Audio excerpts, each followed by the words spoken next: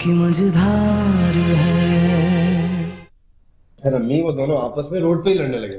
शाबाश अली अली से अब ले आओ खाना भूख से मर रहा हूँ मैं। कब से बच्ची खाने में घुसी नहीं है पता नहीं क्या कर रही।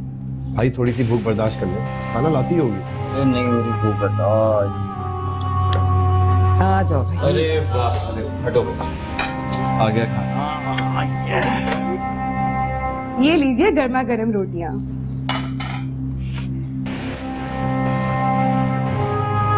बात है लीजिए खाना मुझे क्यों उठ। रहा सब खैरियत है? नहीं नहीं तो कुछ भी नहीं हो आप आप लोग खाना खाइए ना। अब ठंडा हो जाएगा। देखिए ना कितनी अच्छी खुशबू आ रही है। अरे खुशबू तो आएगी ना ये ले अम्मी ये तुम लोग भी बैठो ना। खाओ। हम्म, क्या कर दिया है बहू? क्या बेहोशी में खाना पकाया है? नमक बिल्कुल ही डालना भूल गई है। वो अम्मी हाँ लीजिए। तुम शायद नमक डालना भूल गई होगी। मैं लेके आती हूँ।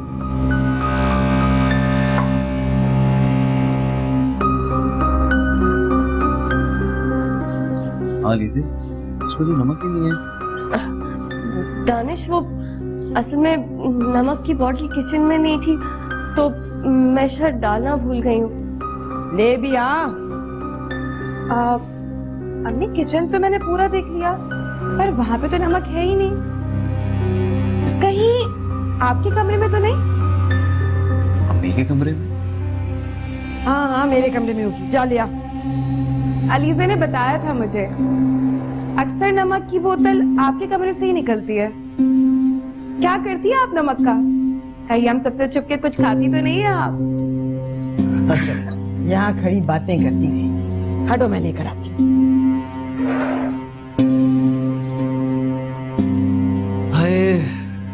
इतनी तेज भूख लग रही थी। देखा? कहा था ना मैंने कोई फ़र्क नहीं पड़ने वाला। उनके बच्चों में से किसी ने ये तक नहीं पूछा कि नमक की बोतल उनके रूम में क्यों थी? आहिस्ता आहिस्ता सब हो जाएगा अलीजा तुम क्यों परेशान हो गई असल में बात परेशानी की नहीं। मैं तो सिर्फ़ ये सोच रही हूँ कि किसी पर कोई असर क्यों नहीं होता? कोई अम्मी से सवाल ही नहीं करता? होगा सर। आहिस्ता आहिस्ता ज़रूर होगा असर तुम उनसे दब गई थी ना? क्योंकि तुम्हारी मजबूरी थी। मैं उनसे नहीं दबने वाली। क्योंकि मेरी कोई मजबूरी नहीं है। तो क्या करोगी तुम? अगर अम्मी ने अपनी चालें बनने की तो मैं दुल्हन को लेके अलग हो जाऊँगी। क्या? अरसला ऐसे मत करना प्लीज़ तुम चली जाओगी तो अरे सच में ऐसा नहीं करूँगी ये तो सिर्फ़ धमकी है। अम्मी को सीधे रास्ते पे लाने के लिए। शुक्र। मैं तो डर ही गई थी। एक तुम ही तो वो इस घर में मेरा सहारा। लेकिन अरसला अम्मी ने जिस तरह काबू में रखा हुआ है ना अपनी औलाद को मुझे नहीं लगता कोई धमकी उनके आगे काम करेगी। तुम फ़िक्र मत करो। अब उनके औलाद भी हमारी काबू में है। बस थोड़ी अकल लड़ाने की ज़रूरत है। क्या मतलब? देखती जाओ तुम।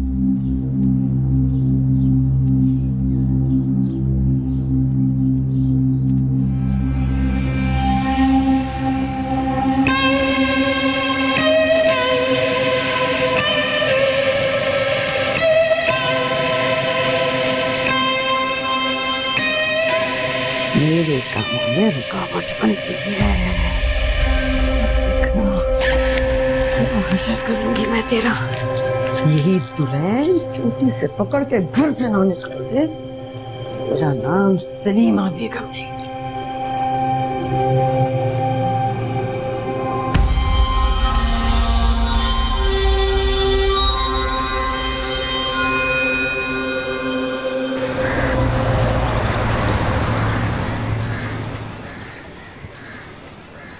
अच्छा तुमने अपनी दूसरी बहू के आते ही उस पर भी अमल करके फूक दिया। पूरे चार घंटे का अमल था। कमर रह गई है मेरी। मैंने सोच लिया था कि इसे काबू में करने के लिए जो करना पड़ेगा। भाई, हिम्मत है तुम्हारी। हिम्मत वाले ही करते हैं ये काम, जरीना। इतनी आसानी से अपने बच्चे इन चुड़ैलों के हवाले करने वाली नहीं हूँ मैं। अरे सलीमा, मैं तो कहती हूँ, अगर बच्चे अपनी ज़िंदगी में खुश है तो बस हम भी खुश हैं। तो मैं कौन सी दुश्मन हूँ अपनी औलाद की? अल्लाह खुश रखे मेरी औलाद को बस। माँ की नाफरमानी नहीं कर सकते। सही कह रही हो तुम। लेकिन सलीमा हम ये बात बच्चों को प्यार से भी तो समझा सकते हैं ना? हमें ये सब करने की क्या ज़रूरत है? रहने दो ये प्यार मोहब्बत की बातें यही बातें दिमाग खराब करती हैं। जबकि सीधी उंगली से ना निकले तो उंगली टेढ़ी करनी पड़ती है जरीना। समझी? ऐसे ही नहीं सीधी हो जाती औलाद। रखनी पड़ती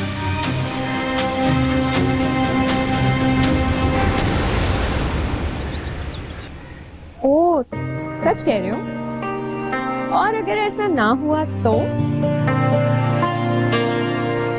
अच्छा। मेरे लिए मर भी सकते हो।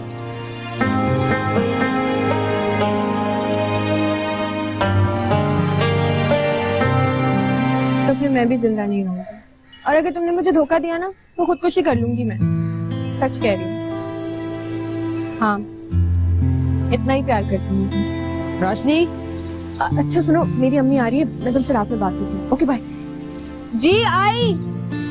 समझ में आ रही है ना तुम्हारे? अपनी बीवी का दिमाग खुद दुरुस्त कर लो वरना बहुत बुरा होगा मैं बता रही हूँ। लेकिन अम्मी किया क्या है उसने? ठीक ही तो कह रही थी कि नमक मिर्च की बोतलों का आपके कमरे में क्या काम? अगर आपको खाने में डालने के लिए चाहिए तो टेबल पे मौजूद है।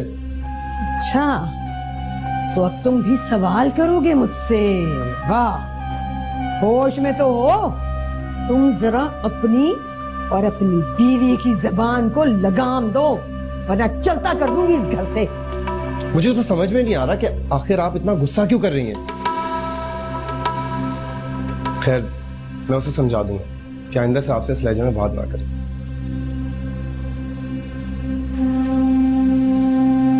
और अगर वो समझ रही है ना, उसके पाँच लाख के रोग में आने वाली नहीं हूँ मैं, बता देना उसे।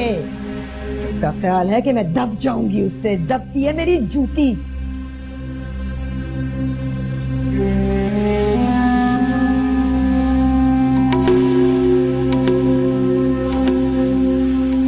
भाई, बात समझने की कोशिश करें। बस थोड़ा सा झूठी तो बोलना। इसमें इतनी ज़्यादा कोई बुराई भी तो नहीं। अरसलना तुम समझने की कोशिश करो। अरसलना मैं लीजे के आराम की खातिर अम्मी से इस तरह का झूठ नहीं बोल सकता। और तुम खुद सोचो अगर अम्मी को इस बात का पता चल गया कि मैंने उनसे झूठ बोला है तो वो क्या करेंगी? पता है ना तुम्हें? और अम्मी वो जो हर बात पे आप लोगों से अपनी मनमानियाँ करवाती वो कुछ नहीं। हाँ, इस बात से अम्मी को तकलीफ़ थोड़ी पहुंचेगी। बल्कि उन्हें तो पता भी नहीं चलेगा। वैसे भी ये सब कुछ तो हम अलीजा के लिए कर रहे हैं। ताकि उसे कुछ दिन के लिए आराम तो मिल सके। वो बात तो ठीक है लेकिन मेरा दिल नहीं मानता। ठीक है जैसे आपकी मर्ज़ी। वैसे इसी बात से अंदाज़ा हो रहा है कि कितना प्यार करते हैं आप अलीजे से।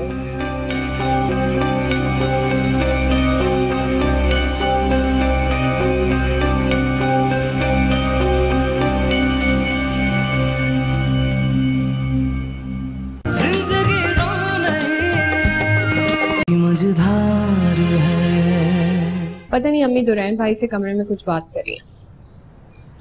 अच्छा। बस अब आप जल्दी से तैयार हो जाए आपका रिज़ल्ट आने वाला है। ऐसा बोलो अम्मी सुन लेंगी मुझे बताया था अरसला ने लेकिन मुझे यही डर है कि कहीं अम्मी को नहीं पता चल जाए। भाभी आप उसकी फ़िक्र मत करें। मैं हूँ ना आपके साथ। पर वक्त आने पर आपको भी मेरा साथ देना होगा। क्या मतलब? मतलब कुछ खास नहीं वक्त आने पर बताऊँगी। कैसा वक्त? क्या बात है? भाभी कहा ना बाद में बताऊँगी। बस आप मिठाई खिलाने की तैयारी करें।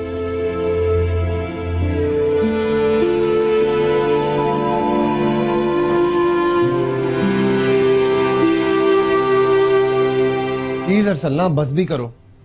वो मेरी माँ है और तुम? लेकिन वो गलत है दुरई। बेशक वो गलत है। लेकिन मैं अपनी माँ की बेजती नहीं बर्दाश्त कर सकता चाहे वो तुम करो या कोई और। बेजती ओह मेरे खुदा गलत को गलत कहना क्या बेजती होती है? मुझे तुमसे बहस नहीं करनी। मैं सिर्फ़ ये कह रहा हूँ कि आइंदा से ये सब ना हो जाए। समझ गई तुम? ठीक है। प्लीज़ अरसल समझने की कोशिश करो। वो मुझसे शिकायत कर रही थी और मुझे उनका शिकायत करना अच्छा नहीं लगा। मैंने तुमसे कह दिया ना कि ठीक। लेकिन एक बात तुम उनसे भी कह देना अलीजे नहीं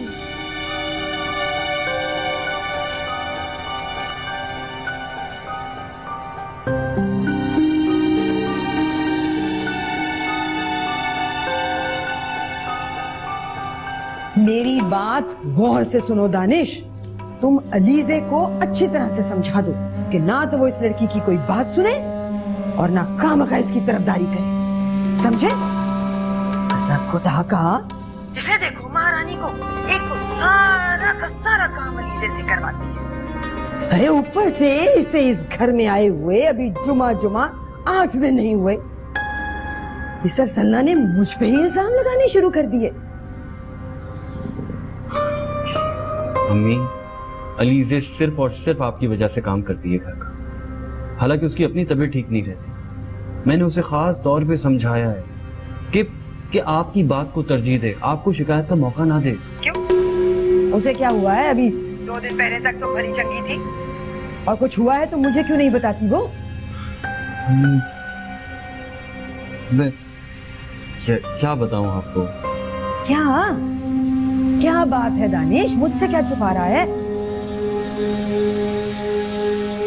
तो वो बात यह है कि अलीजे प्रेग्नेंट है। हैं? क्या?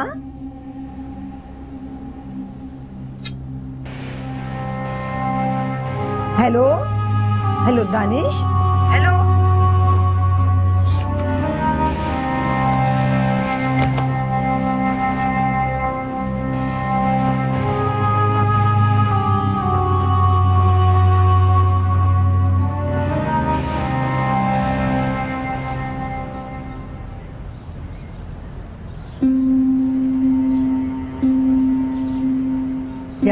बहू यहाँ क्यों ऐसे पड़ी हो? अम्मी, नहीं, कुछ नहीं, वो किचन के काम निपटाए थे तो थक गई थी थोड़ी। अभी यहाँ बैठी थी तो पता नहीं आग कब लगी, पता ही नहीं चला। तुमने भी तो सारे घर के काम अपने जिम्मे ले लिए अरे, किसी और से भी कह दिया करो कभी कर ले। और अगर कोई और नहीं है तैयार तुम्हारी मदद करने को तो मुझे कह दिया करो। मैं कर दूँगी। अब इस हालत में थोड़ा तो आराम करो। क्या हुआ अलीजे? खैरियत तो है ना? क्या हुआ है? तुम्हें अगर इसका इतना ख्याल होता ना तो यूँ कमरे में ना पड़ी रहती सारा वक्त। सारे घर के काम उसके ऊपर डाल दिए बेचारी को। जरा अब अपने ये सैर सपाटे बंद करो घर संभालो। समझी? इसे आराम करने दो कुछ दिन के लिए। क्यों भाई? जी। वो हाँ अलीजे अम्मी बिल्कुल ठीक कह रही है। तुम्हें आराम करना चाहिए। और अम्मी, अगर घर के इतने सारे काम है तो हम कोई फुल टाइम के लिए मासी रख लेते हैं ना। इस तरह अलीजे को भी सुकून मिल जाएगा और मेरी भी हेल्प हो जाएगी। भला इतने सारे काम अकेले कैसे कर सकती हूँ? वो कर सकती है, सारे काम अकेले तुम नहीं कर सकती। और तुम्हारा मियाँ तो लाखों कमा के ला रहे ना जो तुम मासी रख लोगी। पाँच छह हज़ार की तो बात है। भला इससे ज़्यादा मासी क्या ले लेगी? वैसे अगर आप चाहे तो मेरे पाँच लाख में से उसे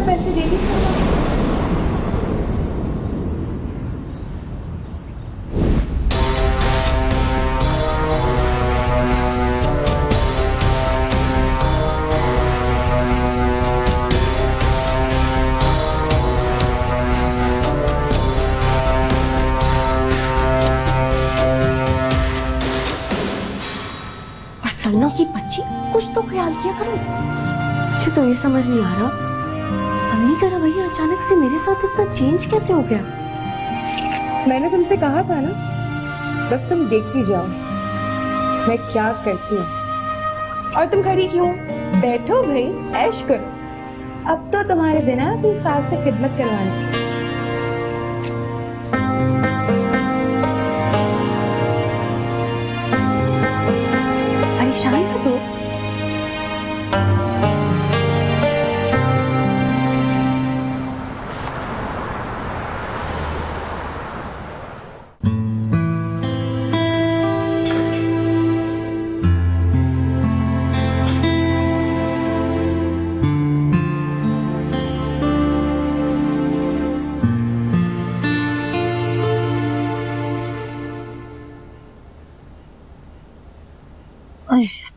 अम्मी जब मैंने आपसे मना किया था कमरे से बाहर आने से तो फिर आपने खुद उठ के चाय क्यों बनाई है? मेरा दिल चाह रहा था चाय पीने इसलिए मैंने सोचा खुद ही चाय बना लूँ। चाय पीने का दिल था उजाला से कह देती। उजाला कहाँ उसके हाथ पर तो तुमने तनख्वाह रख दी। अब कहाँ घर टिकेगी? शॉपिंग करने गई हुई है। अगर यही उसे हर वक्त सिर्फ़ पैसे चाहिए। पैसे के अलावा उसे कुछ नज़र नहीं। जरा एहसास नहीं उसे अपनी ज़िंदगी बेटा ये सारी माँ की तरबियत होती है। सलीमा का भी तो देखो अपने शोहर से क्या ताल्लुक है।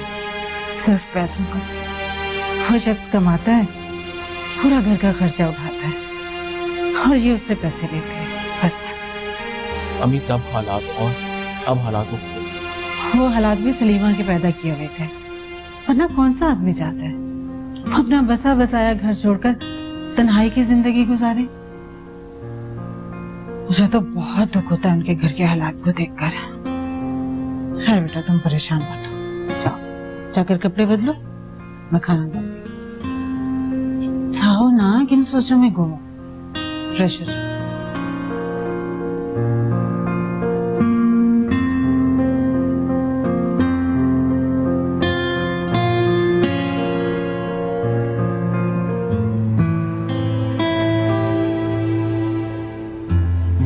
दानिश ये तो झूठ है ना? तुमने अरसाना की बात मान कैसे ली?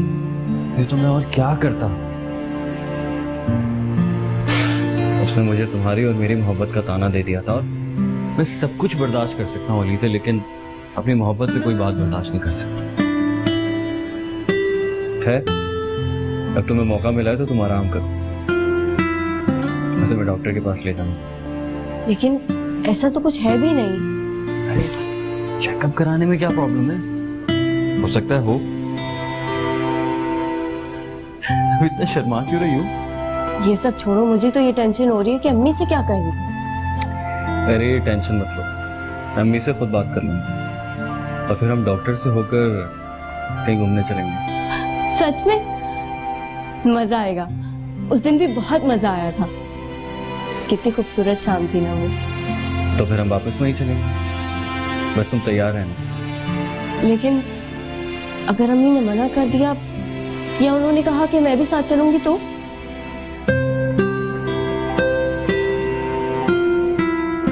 ये तो मैंने सोचा ही नहीं तो फिर सोचो ना।